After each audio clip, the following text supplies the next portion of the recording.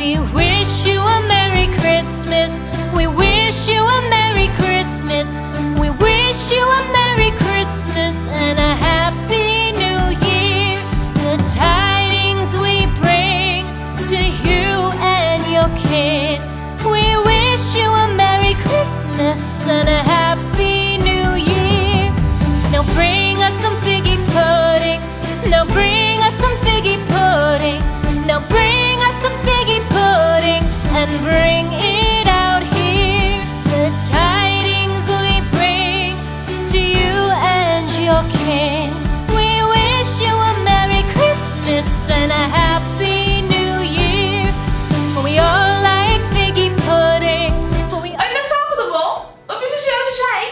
Natal, eu já estou em clima de Natal, já tô aqui com a minha touquinha de Mamãe Noel, clima de Natal, toda natalina, porque hoje eu vim aqui gravar um Faça Você Mesmo pra vocês, especial pro Natal.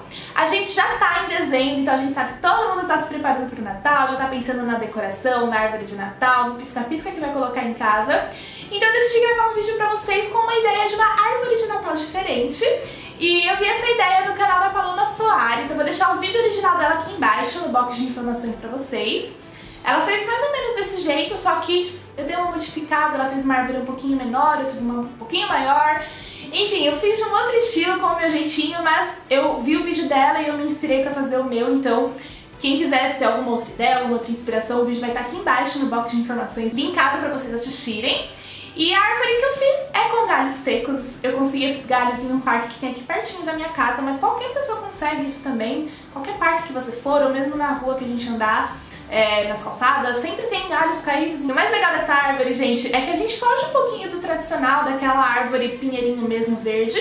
Não que eu não gosto, eu acho linda, mas é legal também a gente dar uma brincada, dar uma fugidinha disso. E além disso, a gente ainda pode usar essa árvore em todo o decorrer do ano. É só a gente tirar os enfeitezinhos de Natal e pronto, dá pra gente usar ela como decoração em qualquer ambiente da nossa casa que fica lindo.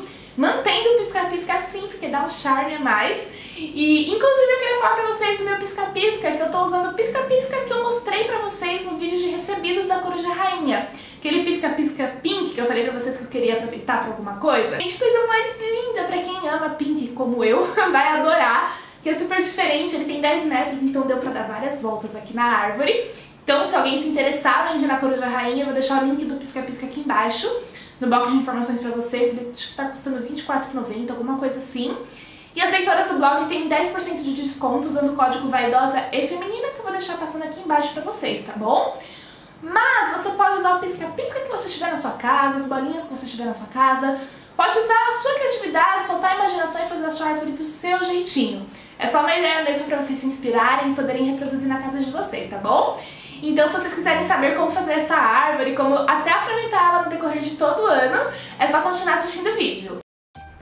E para fazer a nossa árvore de Natal, nós vamos precisar de galhos, jornal, lixas, tinta spray nas cores bronze e dourado, forração para uso paisagístico e decorativo que vocês encontram em casas de plantas,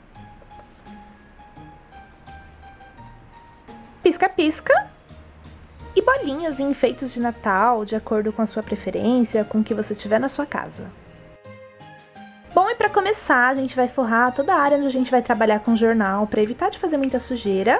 E com a lixa a gente vai lixar todos os galhos que estiverem um pouquinho mais grosseiros para deixar eles bem lisinhos, com acabamento mais bonito e para a tinta aderir melhor no galho. E para isso vale chamar marido, namorado, mãe, pai, irmão, quem puder para ajudar, porque nessa hora toda ajuda é bem-vinda, né, gente? Também fazer com quem a gente gosta, fica ainda mais gostoso. Bom, depois de todos os galhos lixados e preparados, é hora da gente começar a pintar. Então é só pegar a tinta spray, eu vou começar com a tinta bronze, para uniformizar todos os galhos, para deixar eles com uma cor bem parecida. E é a cor que mais se aproxima da cor de galho mesmo, então é só aplicar a tinta em todos os galhos Espera uns 5 minutinhos, ele dá uma secadinha e você vira ele e aplica do outro lado também. E faz isso em todos os seus galhos. E depois de feito isso em todos os galhos, é só você pegar a tinta spray dourada você vai aplicando pequenos jatos só pra dar um detalhe, sabe? Um charme a mais. Só pra deixar com um ar mais sofisticado, mais bonito, porque o dourado dá essa sensação de coisa mais elegante, coisa mais nobre. Então é só ir passando alguns jatos nos galhos Coisa bem pouca, não precisa ser nada certinho, sabe? Só alguns jatos mesmo para dar esse charme a mais.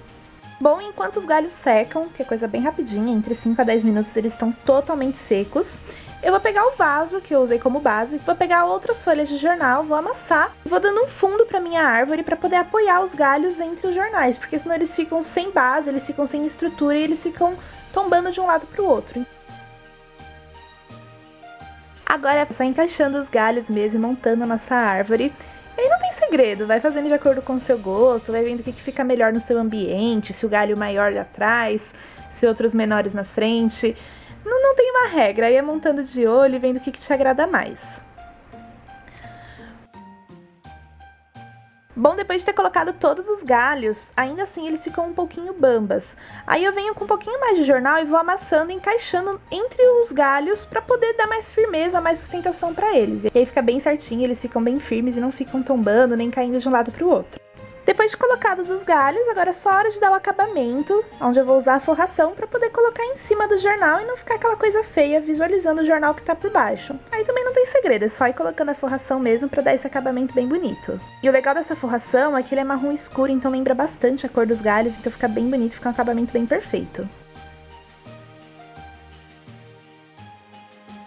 Bom, agora é só ir passando pisca-pisca por todos os galhos, aí você vai fazendo a olho mesmo, não precisa passar em todos os galhos, pra não ficar assim também muito pisca-pisca. Eu fui bem aleatório, fui colocando um galho aqui, um galho ali, mesclando bem, e com a ajuda de uma fita adesiva eu fui fixando pisca-pisca nos galhos, para eles não caírem, deixando ele de cima para baixo, de baixo para cima, fazendo várias voltas, deixando a árvore bem rica de pisca-pisca.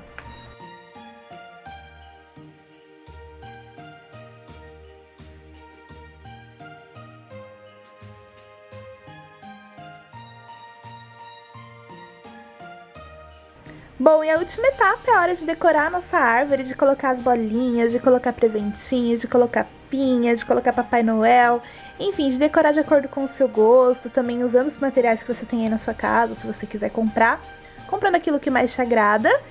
E aí você vai decorando a sua árvore, vai deixando ela bem rica, bem bonitinha, bem fofa.